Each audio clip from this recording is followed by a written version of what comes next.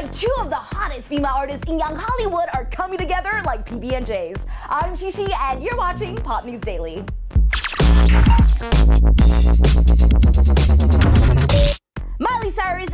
Full of surprises. Just check out her 2013 MTV VMAs performance or her Wrecking Ball music video. Now it looks like the 20-year-old singer is ready for something new. Our former Hannah Montana star has already collaborated with top artists like Mike Will Made It and Britney Spears.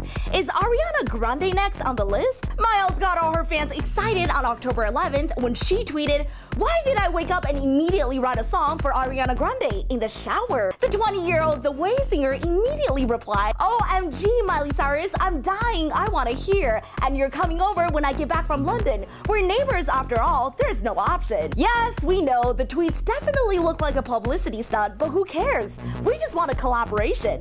They are the same age after all. We can't exactly say we saw this one coming, but hey, I'm not complaining. Maybe this will be a perfect chance for Miley Cyrus to tone down a little. Or maybe not. What do you guys think about the possible collaboration? Hit the comments below, let me know what you think. Make it pop or make it stop.